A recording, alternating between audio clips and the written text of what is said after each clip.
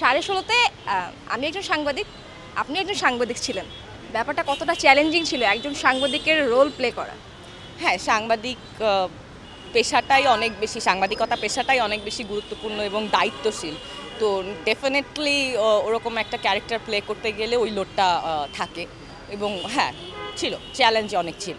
কারণ অনেক অনেক কিছু করা যাচ্ছে, অনেক কিছু করা যাচ্ছে না। ক্যারেক্টারের অনেক লিমিটেশনস আছে, ক্যারেক্টারের একটা গ্রাফ আছে। তো সেই গ্রাফ ধরে ক্যারেক্টারকে পোট্রি করার ডেফিনেটলি চ্যালেঞ্জ সাংবাদিক রোলটা প্লে করার সময় আপনাকে আপনার সাংবাদিক বন্ধুদের হেল্প নিতে হয়েছিল? না, আমার সাংবাদিক বন্ধুরা আমাকে হেল্প করেছেন টু বিল্ড দ্য ক্যারেক্টার কেমন হতে পারে। আর তাছাড়া সাংবাদিকতা যে আসলে করে, এ পর্যায়ে এসেছে যে তার ক্যারিয়ার নিয়ে এতটুকু সচেতন এবং ক্যারিয়ারিস্টিক সে আসলে এভাবেই বোল্ড বলেই আমার মনে হয়।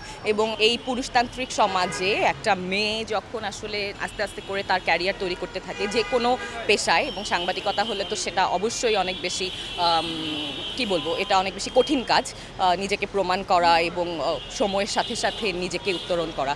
তো ওই জায়গাটায় ঋণী চরিত্র চরিত্র হিসেবেই অনেক বেশি বোল্ড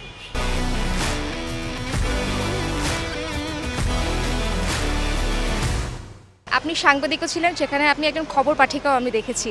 এবং এই যে দুইটা রোল প্লে করতে গিয়ে আপনাকে সাংবাদিকদের সাথে কি মানে ওই প্র্যাকটিস টাইমটা কি হয়েছে কিনা? যে আমি তাদের কাছ থেকে প্রস্তুতি নিব বা তারা কেমন করে সেটা শিখব, সেই টাইমটা কেমন ছিল?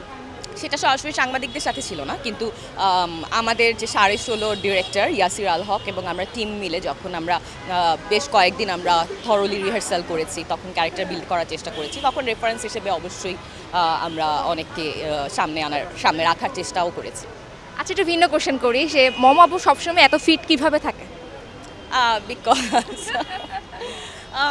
আই লাভ মি ভালোবাসা নিজেকে ভালোবাসা আসলে সেলফিশনেস না। নিজেকে ভালোবাসা নিজের প্রতি যত্ন নেওয়াটা হচ্ছে দায়িত্ব প্রধান দায়িত্বের মধ্যে পড়ে। তো আমি নিজের প্রতি দায়িত্বশীল আমি নিজেকে ভালোবাসি। আর ঘনিষ্ঠ সূত্র বলছে যে আপনি কিন্তু খুব ভালো গান করেন পাশাপাশি আপনার মানে আপনি কিন্তু আমাদের সামনে যেমন আপনি কিন্তু সবার সাথে বন্ধুদের সাথে কিন্তু আপনার একটা বাচ্চা সুলভ আচরণ আমরা দেখতে পাই। এটা কি সত্যি? আমার ছেলে বলে মা you are a kid like me so great কতজনের কাছ থেকে কমপ্লিমেন্টটা পেয়েছেন? যারা আমার ক্লোজ তারা এই কথাটা বলে। হ্যাঁ বলে ওকে ভালোবেসে বলে। যখন বৃদ্ধ হবেন তখনও কি সেই বাচ্চা সুলভ আচরণটা থাকবে? হ্যাঁ হয়তো বাচ্চা সুলভ আচরণ কিনা জানি না but there is a inner child সবার ভেতরেই থাকে সেটা। সো আমি আমার ইনার চাইল্ডকে আদর করি। সো আমি আমার ইনার চাইল্ডকেই রাখতে চাই আর।